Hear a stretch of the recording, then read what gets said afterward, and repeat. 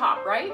At least I thought it was when I got into my little closet that I have my things for Poshmark or to get rid of.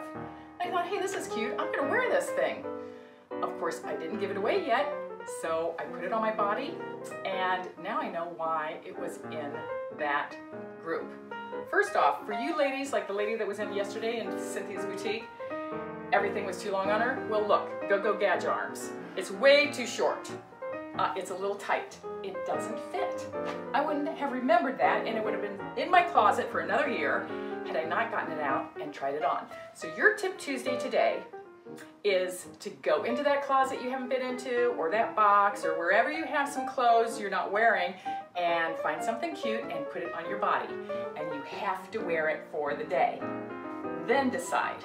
You either put it back in your closet, the one that you go into every day to get dressed in, or it's out.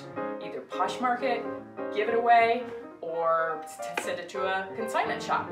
And if you want to know more about Poshmark, ask me. Leave a message. Remember to share this video. You might make somebody's day. Bye now.